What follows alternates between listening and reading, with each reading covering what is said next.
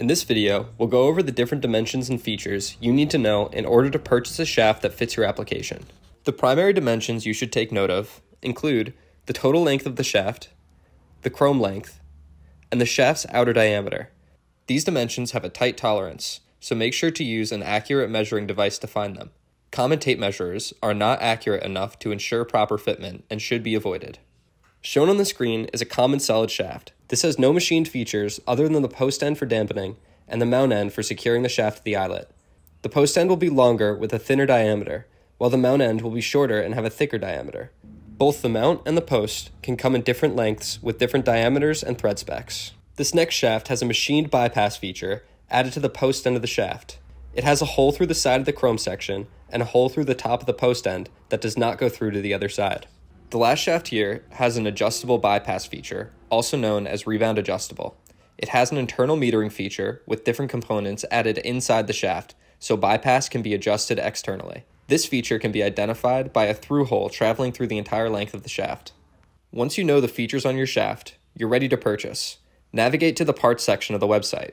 When you get there, you'll be met with multiple brands listed.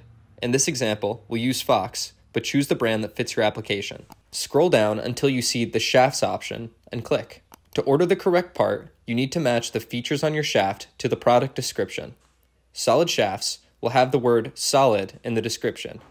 Bypass featured shafts will state bypass, and rebound adjustable shafts will have the letters R and A listed. The next step is to match the outer diameter of your shaft to the one you're purchasing. In the product description, it will state the measurement followed by the letters OD. Click on the shaft that matches your application to advance to the product page. To make sure the shaft you're ordering matches the dimensions of the shaft you have now, look to the diagram located under the gallery picture. This diagram shows the measurements you need to know to purchase the correct shaft. Keeping this diagram in mind, scroll down to the product description where the shaft's dimensions are listed. The letters next to the dimensions correspond to the letters on the diagram. Find these dimensions by measuring your shaft. If they match up to the dimensions listed in the description, then you know you're ordering the correct shaft. Many shafts have the option to select a length. If this is the case, select the shaft length closest to your application. Not all shaft variants are listed on the website. If you need a shaft with the dimensions that aren't listed, contact us.